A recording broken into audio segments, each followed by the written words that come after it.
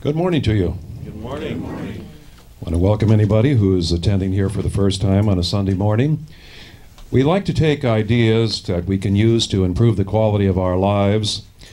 And to do that, you have to draw upon everything that's available. You don't limit yourself to any one thing because no one thing has all the answers except the presence that is inside of us that knows everything already. So the whole idea is what do we do to get to the presence that is within us and bring forth that presence to direct us and lead us and to guide us. Over the years, I have found that there is a need, a very, very deep need in this world for spirituality, but the spirituality that has come forth, while it has caused somewhat of a, of a balance in people's lives to certain extents, it doesn't really get into the deeper aspects of who and what we are. Spirituality and religion, unfortunately, are not the same for all people. Uh, when a person tells me that they're religious, it doesn't really mean that much to me. If they tell me they're spiritual, that's something else. Because religious would imply that perhaps they're part of some type of organized religion. And organized religion is something that tends to feed in upon itself. It gets so large that then it collapses in upon itself and it becomes a set of rules of do's and don'ts. It becomes a hierarchy. It becomes something then where people do not have breathing space, as it were, and it becomes an organization. And an organization is not something that a person can really gain from in, in the sense of real spirituality. It begins to dry up, as it were, because inside of ourselves we need spiritual breathing room. Spiritual breathing room means that you need to be able to be exposed to things that will cause you to become spiritually excited. Now, by spiritually excited, I don't mean you become a holy roller and that you roll around on the floor or that you are speaking in tongues or. It doesn't mean any of these things. To be spiritually excited to me is the quest for truth, the quest for God within oneself, and the experience of that presence on a day to day basis. And so that's what I like to pursue when we get together on these meetings. And now, if you would, would you sit back in your chairs, sit upright, put both feet either flat on the floor or your ankles crossed, whichever is most comfortable for you. Because we're going to work upon the, the health of our bodies to either get them stronger to prevent any type of attack upon the body or to work upon something in the body that requires healing. And so, to do this, I'm going to ask that you close your eyes for a few moments and then just sort of think along with me, if you would, and we'll work upon that inner essence that we are. I turn away from the outer world for a few moments to enter into the inner world of my own mind and soul. For here within me, there is a healing power and a healing presence that has been within me all of my life. It is the power that created me and the power that sustains me. It is the higher consciousness of nature working through my body. For my body is as a field of energy from the crown of my head down the length of my body to the soles of my feet. Here throughout my body, there is energy activity. If that energy activity is in harmony with the divine design of God throughout my body, I am well, I am whole, and I am complete. And I recognize that this is the way that God intended my body to work in wholeness and completeness, in health and in well being.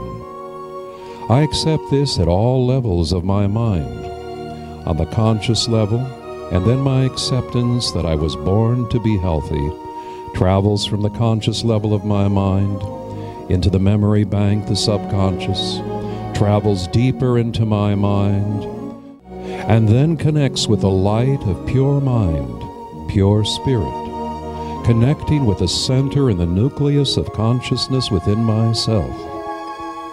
And so now there is a connection between the God presence within me and my conscious mind and all other levels of my mind that radiate out through my sympathetic nervous system and as energy regulate the energy factors throughout my body.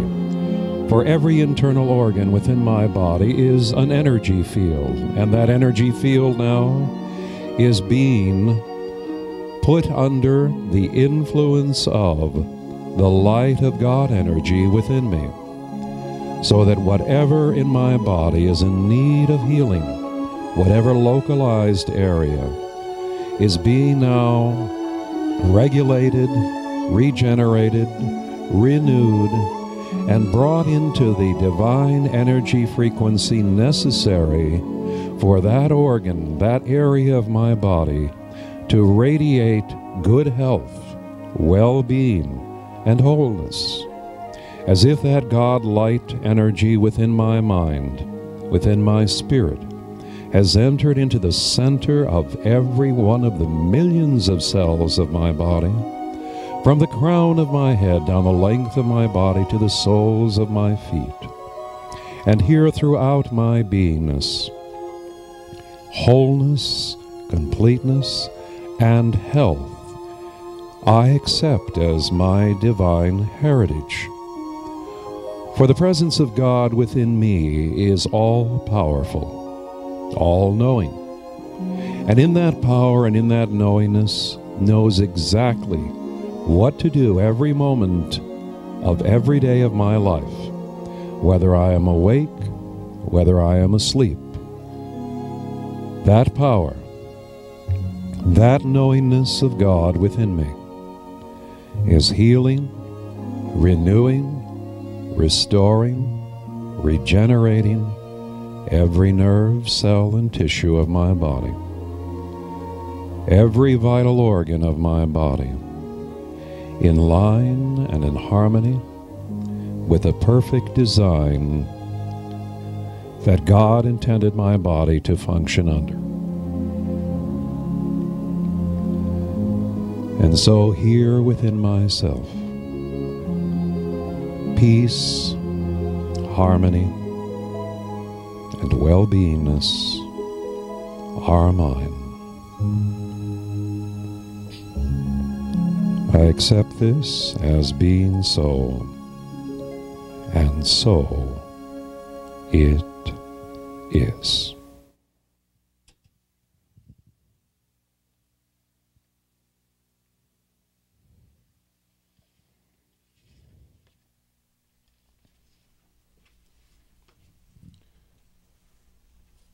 Today's subject is a very, very good one. All the subjects that we have are very good ones.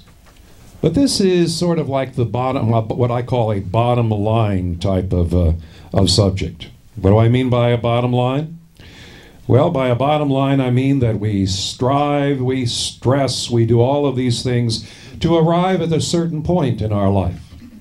And what is that point that we all strive for? Happiness. The bottom line.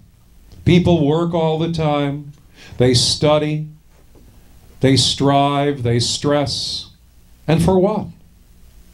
The bottom line is to have happiness in one's life. I remember there was an entertainer that used to enter the stage and he'd look at everybody. Some of you might remember these words Is everybody happy? Well, I'm sure that when he said that, there were some people in the audience that would say, Oh, no, I'm not happy. But what's the choice? Unhappiness. And then, if you're unhappy enough days, unhappiness becomes a chronic condition in your life. You become a sourpuss, as they say. Everything in life becomes a frown rather than a smile. And what a sad, sad situation. It really is. The sadness is, is such that the person from that point on begins to throw in the towel, as it were, whether it was their occupation, whether it's their love life, whether it's their health, whatever. And you don't have to throw in the towel, nor do you have to wave it that I surrender to the forces and the powers of life. Because happiness is something that can be defined in many, many different ways. Now, sometimes, I'm sure, when you're in traffic, you come to a red light and you have to wait a while. Sometimes when I'm waiting, I to amuse myself, I pass the time by reading the license plate holders of different cars in front of me. And I'm sure maybe you've seen some of those, and I've read one license plate that'll say happiness is being Irish. Mm, okay. Then I'll read another one, I'll say happiness is being Italian. Well, which is it? Italian or Irish? Then I read another one, happiness is being Greek. Yasu. Then I say, well, which is it?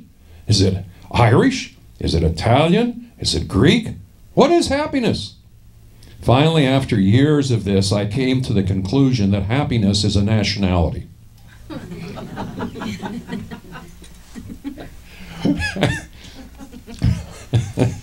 if you go by the license plate holders.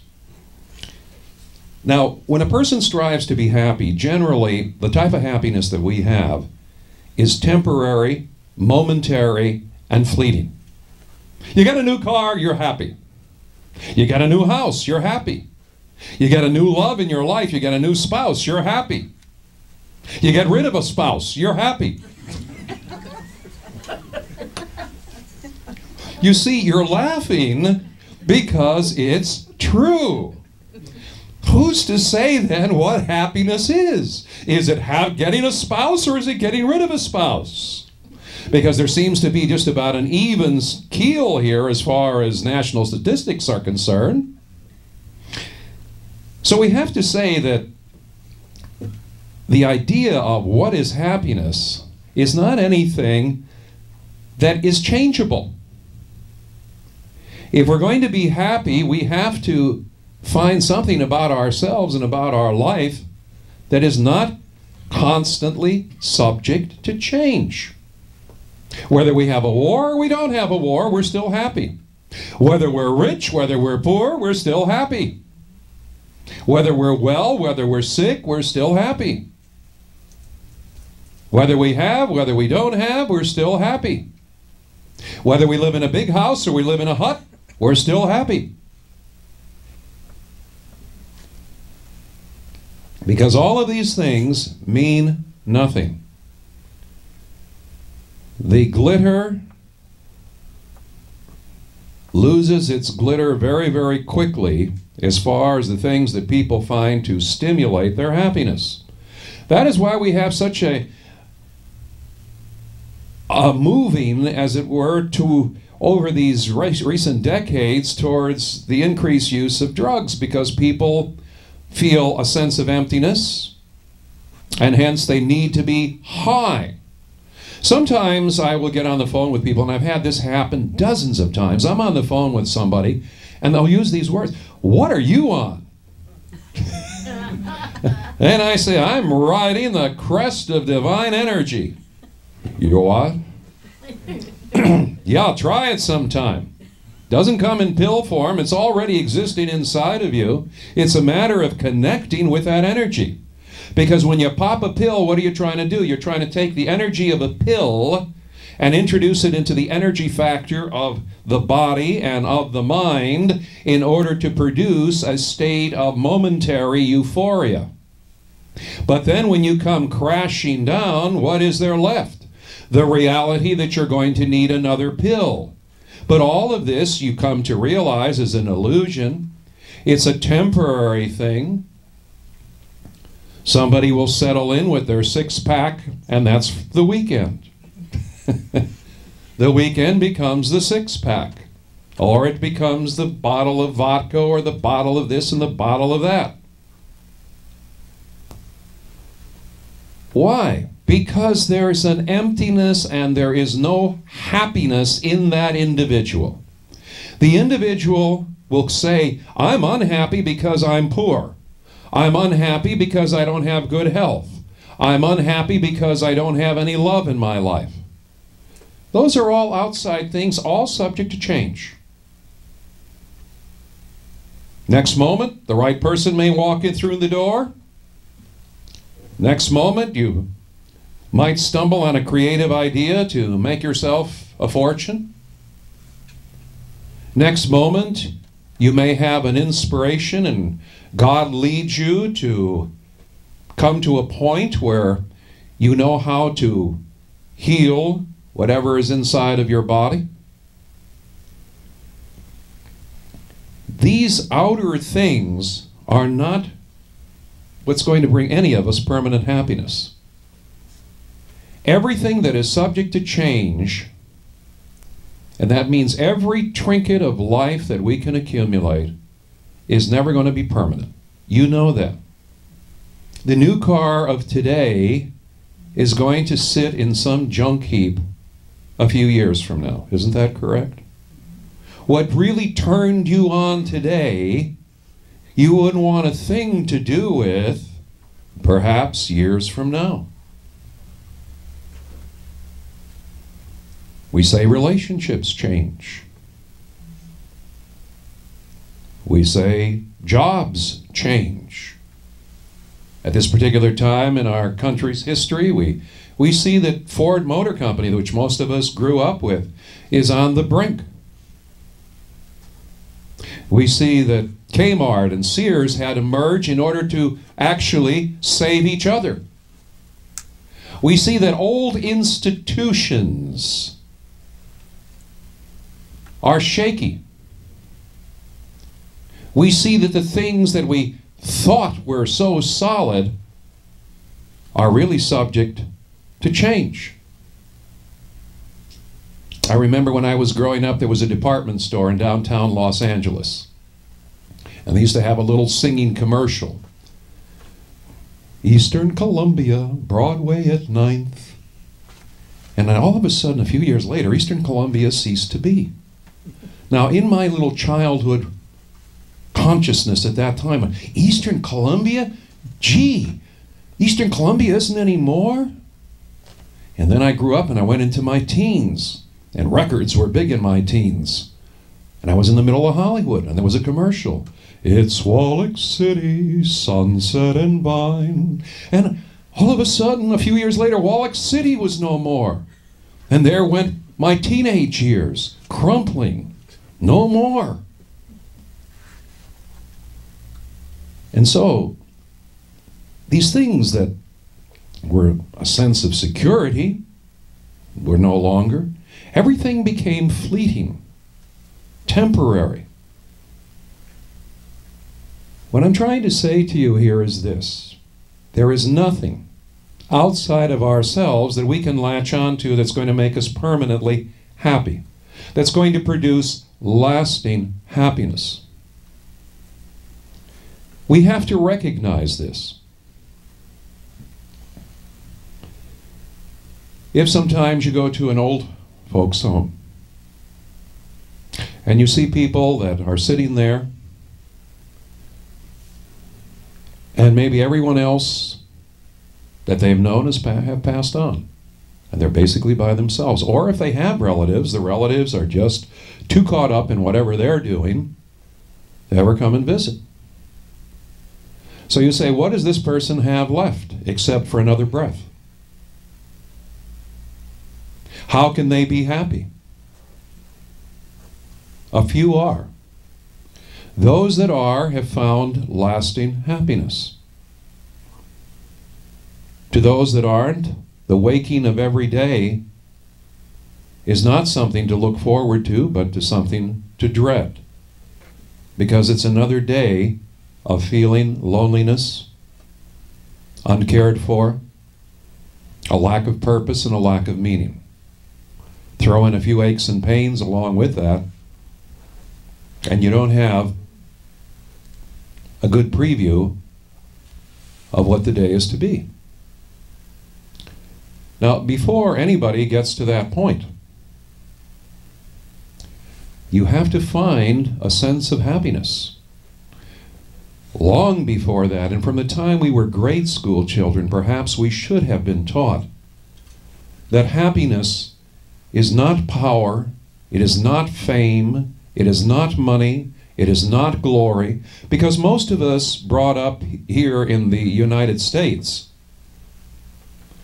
we're taught that this carrot was dangling out in front of us fame, fortune, power, money, success.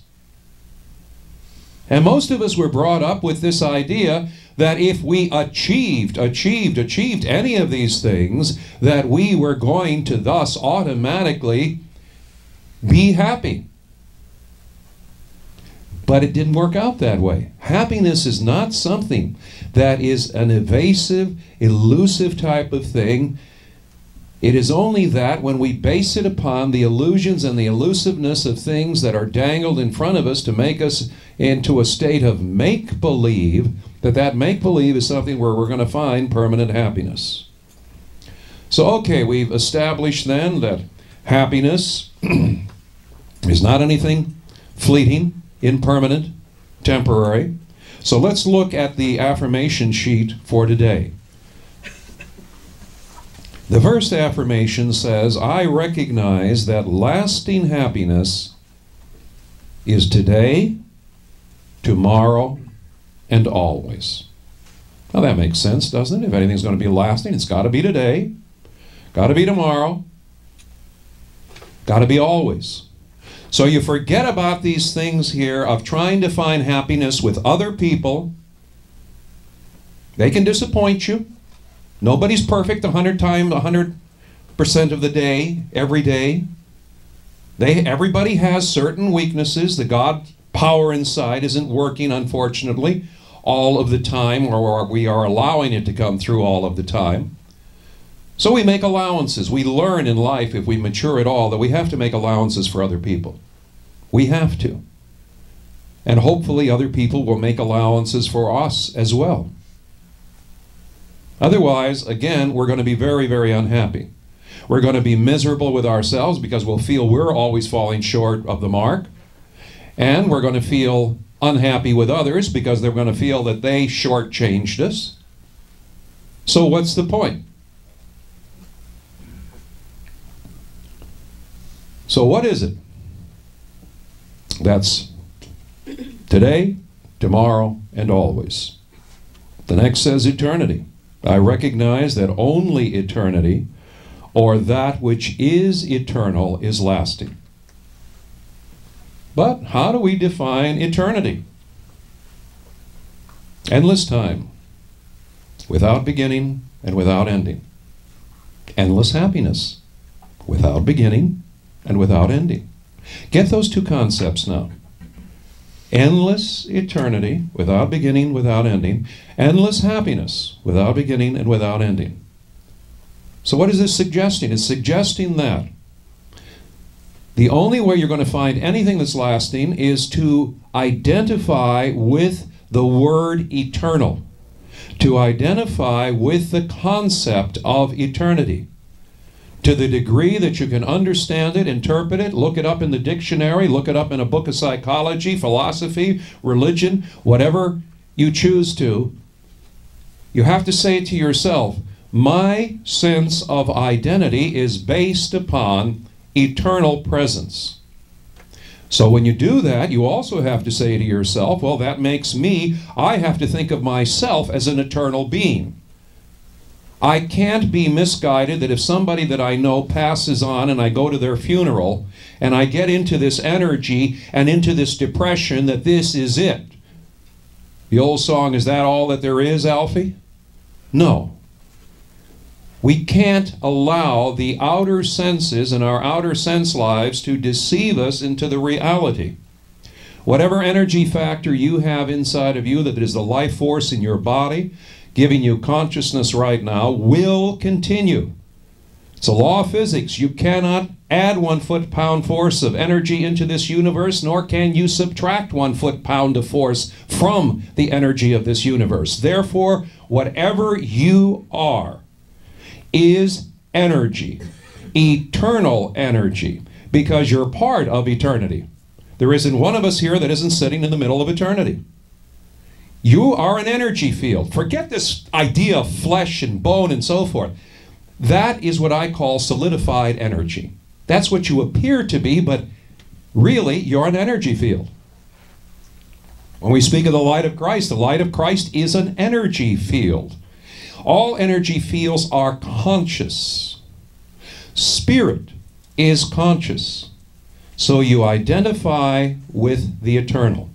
There's a part of yourself that cannot ever be extinguished. Think that thought. There's a part of me that can never be extinguished. There's an energy factor inside of me that will be here. It's been here from the beginning of time. It is eternal time. It can never be extinguished, and that is what I identify with. That is my God. Because in truth, it is God. Forget this idea of God up there in the clouds somewhere with a long white beard sitting there in judgment. That is infantile attempts at religion. You inside of yourself are the walking, living creation of God living within you, and the only true life inside of your body is eternal. So it's a matter of how you choose to spend that eternal energy. In a state of delusion, illusion, always striving for outer happiness, never finding it, and ignoring that happiness is already yours if you identify with this concept. Now you say to me, well, if I identify with a concept, what is in it for me? That's the American way. What's in it for me? Some of you are smiling. You know darn right what I'm talking about. Because we've been brought up with this thing. The teaser. What's in it for me? Well, everything. What's everything? Everything is happiness. Lasting happiness. Why? Because a field of eternity is a field of consciousness. So let's look at the next one. It says, identify. I recognize that if I'm to have lasting happiness, I must identify with the eternal as my lasting happiness. My lasting happiness is not who's going to sit in the White House. My lasting happiness is not my union. My lasting happiness is not winning at the casino. My lasting happiness is not in another person. My lasting happiness is not in fame, fortune, or anything of this world. Christ once said, I'm in this world, but I'm not of it. And that's where we're at. We're the eternal part of us is in the illusion of a world that is temporary. Remember the words in the New Testament Heaven and earth shall pass, but my word shall remain. The truth is the truth is the truth. A rose is a rose is a rose. You cannot change that which really is. And so you identify. And when you identify, you identify with consciousness. It says, I recognize eternity as being conscious of itself. Wow. Eternity, endless time, is conscious of itself.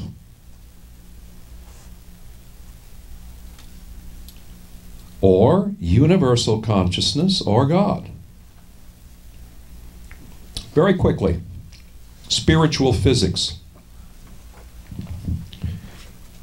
If I bump up against something long enough, I'm going to have the sensation, ah, this feels like wood. Feels like velvet. If planets are going through their orbits and they are energy fields and they are interacting with other energy fields in the solar system, energy fields, solar flares coming from the sun, energy interactions the same way as we pick up sensations using mechanistic methods philosophically of developing consciousness. So anything that has been around and has always been around becomes self knowing. the interplay of energy factors on a universal scale forms a universal mind. Whenever this happened, you had eternity to work with, endless time. So, what I am saying here is the interaction of heavenly bodies, if you just take it on a physical level, of the energy fields of heavenly bodies interacting with each other can form at first a rudimentary consciousness, the same way as you bumping up against your physical environment. And from that rudimentary consciousness, having eternity to work with, becomes conscious, becomes a self consciousness or universal consciousness or universal mind. That is what you are born of. When we tell somebody to visualize something, once the consciousness of the universe becomes conscious of itself, it visualizes within itself and thus creates. So when we're talking about God, what I have just told you is that if you followed what philosophically is called an atheistic, mechanistic idea of creation, you end up with God. I want you to think about that. You end up with God. If you follow an atheistic, mechanistic, evolutionary concept to the nth degree, Given eternity to work with, you end up with universal consciousness or God. Sometimes when people tell me that science and spirituality are not reconcilable one with each other, I have to laugh. Because each one explains the other if you take it to the nth degree or to the absolute. If you're just dealing with just portions of something, obviously it's like dealing with portions of a person. You don't get the whole picture. Now, when it comes to happiness, if we're to have lasting happiness, then we have to have the whole picture. Which means that if we're going to have lasting happiness in any of our lives, we have to identify with the whole picture. Oneness. I recognize that my oneness with eternal consciousness or universal God, mind, spirit is the only assured lasting happiness for my mind and soul. The only assured. You're not going to find it in Mr. Right or Miss Right because they can become Mr. Wrong and Miss Wrong.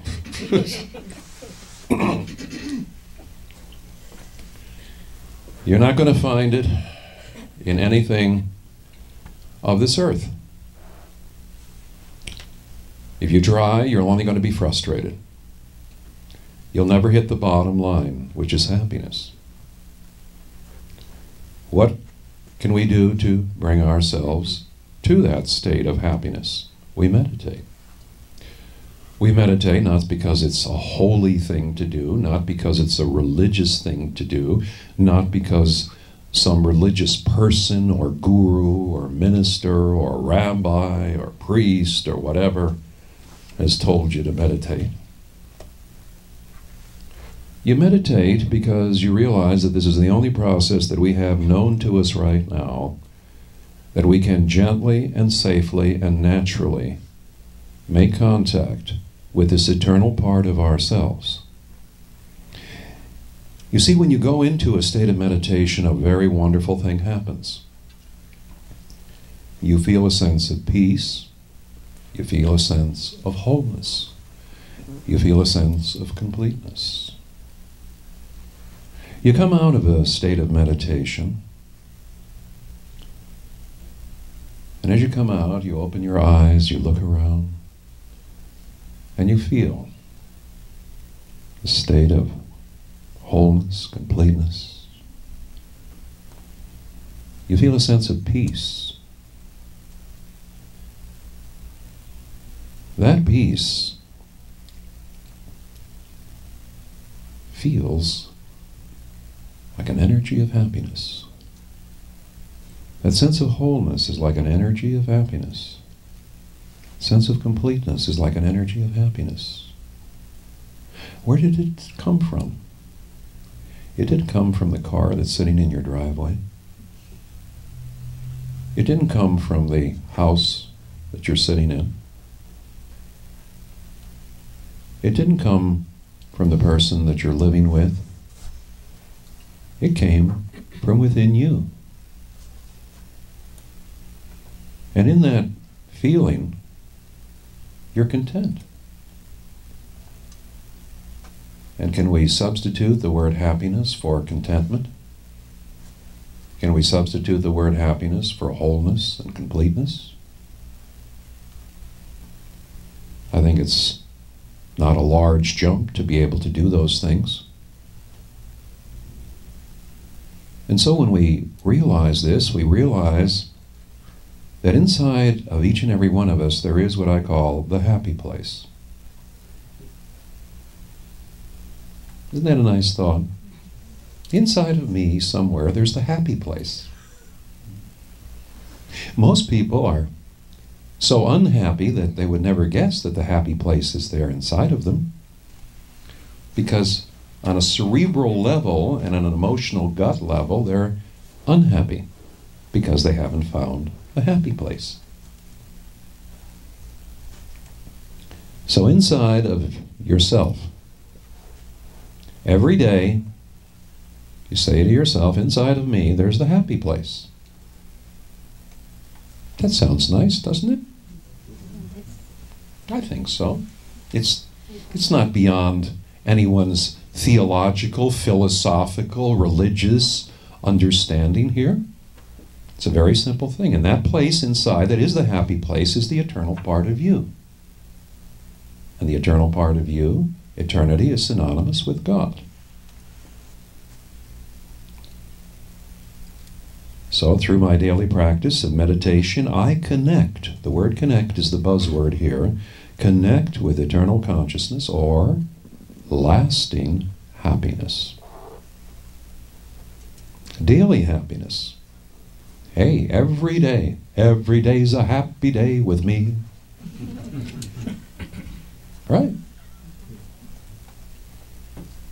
To the singers in the audience, I apologize. Take it for the spirit, not the letter of the note. In my identification with eternal consciousness of God energy, I retain my happiness with myself and my life within, regardless of constant changes in my outer life, whether highs or lows. Regardless of what's taking place in your outer life, on a daily basis, you remain an eternal constant. I like the word constant gives me a good feeling that there's a constant in our life. In sports, a good team is really considered a good team when the word consistency is there. Not just one great game and then a bad game and a great game and a bad game. Not a great day for any of us and a bad day for any of us. Great, bad, high, low, manic, depressive, up, down.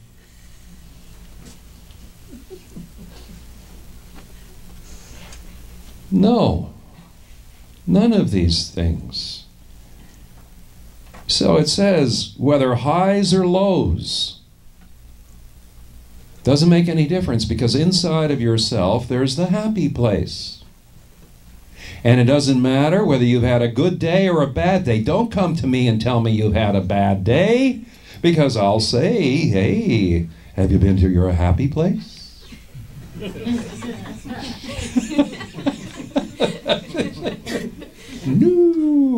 I haven't been to my happy place. then it says experience it. After all, life is an ongoing process. Universal life is an ongoing process. Our personal life is an ongoing process. Life is processing life. God is processing various aspects of God's nature. We're all part and parcel of the process. The process is experiencing. The idea here is every day when you wake up, you have a sense of something that you have identified with the eternal, where whatever happens during the day, you'll not either get real high or real low. In the Bhagavad Gita, which is the Hindu gospel, the Hindu equivalent of the, of the New Testament, there were words in there when I first read them that really stood out to me. It says not it said something of seek not pleasure nor try to avoid pain. Seek not pleasure nor try to avoid pain. Because both come and go and neither last that long. So, what is that saying? It's saying don't push for anything. In the New Testament, the equivalent words are you cannot take the kingdom of heaven by force. You can't force love. It either is or it is not. You can't force reality. Reality is what it is. There were words by Gibran as an example that I've used in different ceremonies when people have been going through a lonely period. And in words that go into the effect of seek, think not you can guide the course of love. For love, if it finds you worthy, shall guide your course. In other words, man plans, God laughs.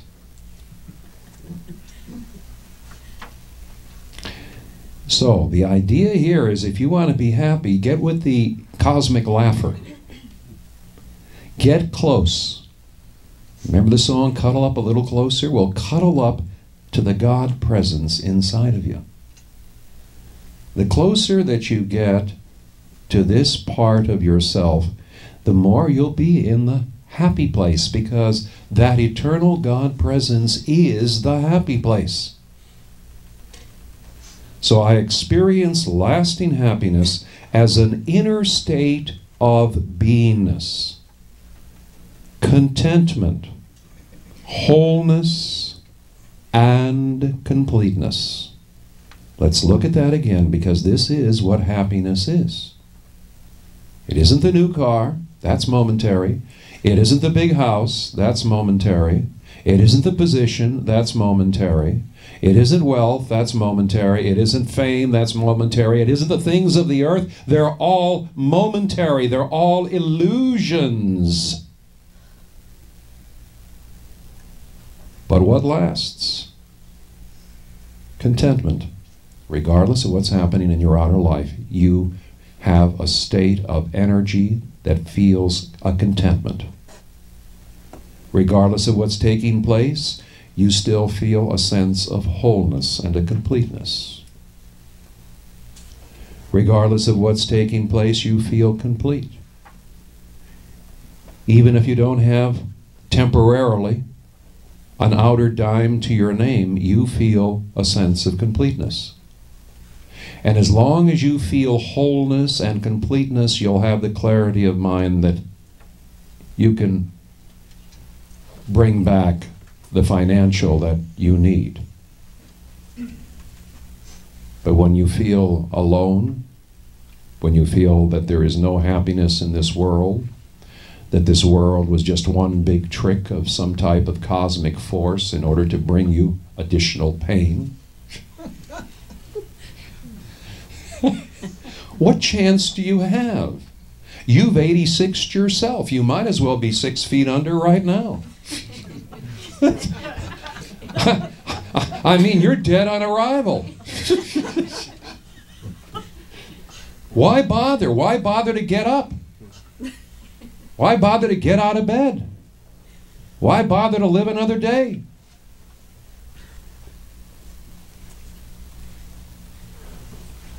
Notice I use the word live. Because life to me without the eternal connection is death. Jesus said it very, very simply. He said, Follow me now, and let the dead bury the dead. Any of you remember those words in the New Testament? Yes. And let the dead bury the dead. What Jesus was saying is that those that do not have this oneness with God are just going through the motions and are as good as dead already. So let the dead bury the dead. That means that if we're going to be alive, our spiritual situation inside of ourselves has to be our number one priority. Anyone can make money. Believe me, I've met some of the biggest fools and jackasses that have made money. Any of you met, met somebody that fits this description? yeah. I see some of the women put up their hands. I, I, I think probably some of you have dated some of these people. Is that you, really got down to the truth, did you? All right. Now, those are the thoughts that I have about having lasting happiness. It all turns back in. I know I say the same thing all the time. It's inside of you. You don't look outside. But happiness, remember, as I said in the very beginning, is the bottom line. We can talk one week about love. We can talk one week about prospering. We can talk another week about health. But if you put a bottom line, it's whether you're happy or unhappy. And so happiness is the bottom line. And lasting happiness is the eternal mark that is within you to find. I'm going to ask that if you would, would you sit back in your chairs and we'll spend a few moments meditating.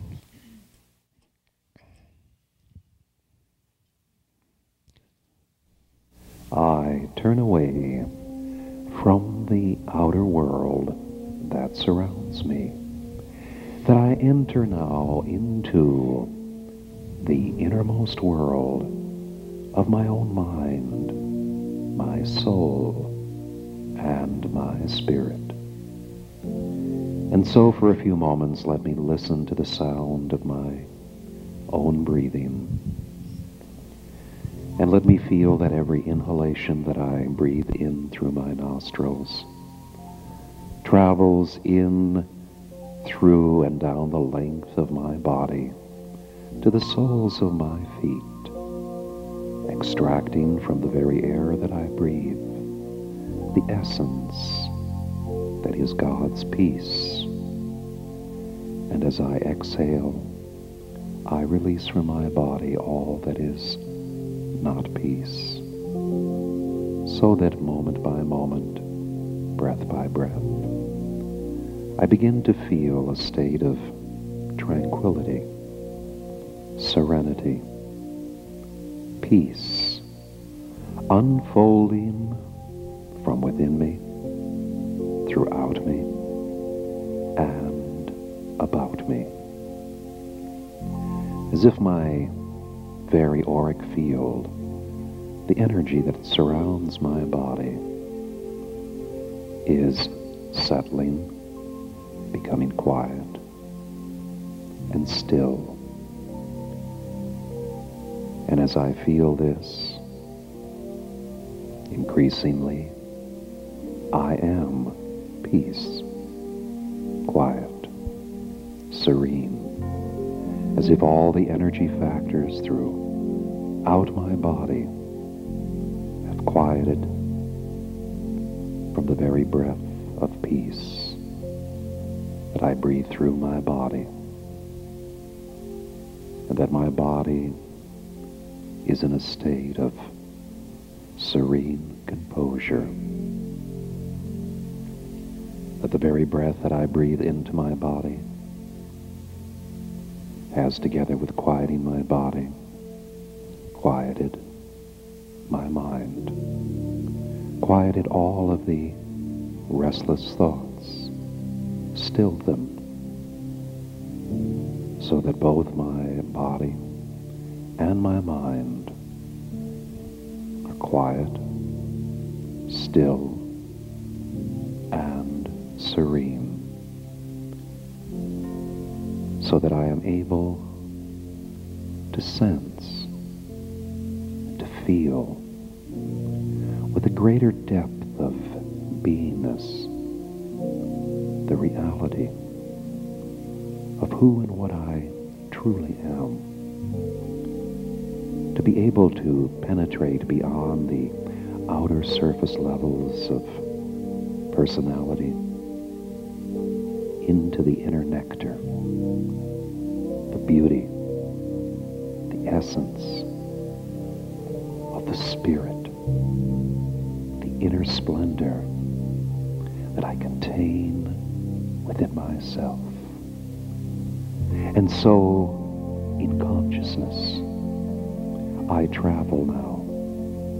Travel into experiencing greater inner realities of who and what I am. As if I am reaching out to the universe. And the universe, having its representation within me, is reaching from within me to become ever so close, so very, very close, as to enter into a divine rapture of consciousness, of spirit, of thought, and of feeling. So now, a moment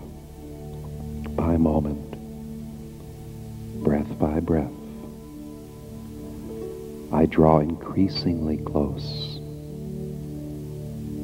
to a state where I may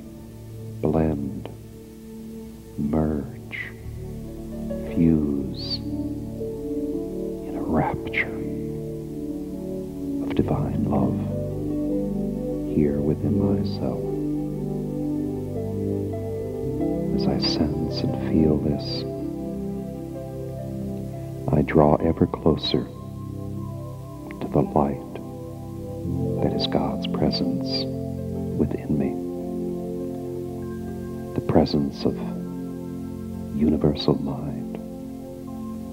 And yet, a light that is pure love. So that I know both the consciousness and the love of God encircling me, emanating forth from within me as I sense in light divine rapture of my soul with the spirit that lives within it. I feel this now. I feel the light throughout the entirety of my body. I feel the light in my feet, in my knees, in my thighs, in the lower extremities of my body. I feel the light now everywhere present throughout my lower back, my upper back, my abdomen, the frontal upper part of my body, through my neck,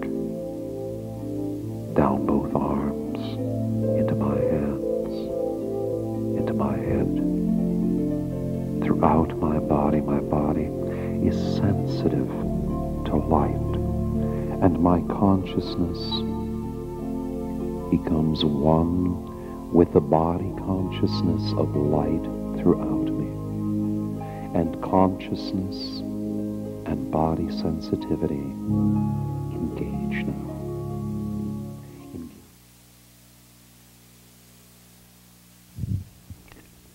I sit for a few moments in a state of silence to sense, to feel a sensitivity to the reality to the light, to the presence with which I am eternally one.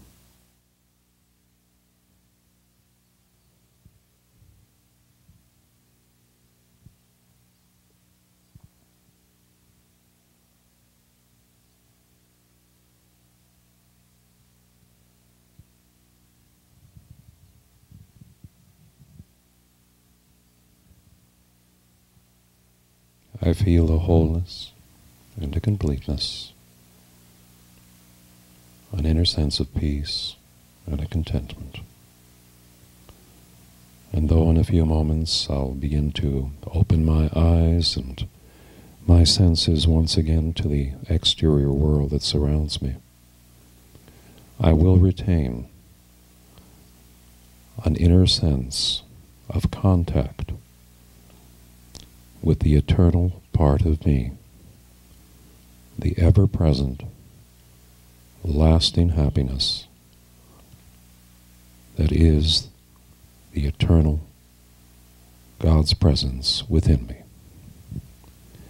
And so now, very, very slowly, I'll begin to open my eyes and my senses to the outside world. And as I do, I'll stretch my arms and hands high over my head. And I do this in a symbolic gesture of always reaching for something higher in my life, knowing that that something higher that I reach for is to be found in the height of who and what I truly am within myself. A living, breathing manifestation of the stars and of the heavens, of universal mind and life, having taken image, shape, form, and embodiment and I bring down my hands, resting in the peace and the security that this is so, letting it be so, and so it is.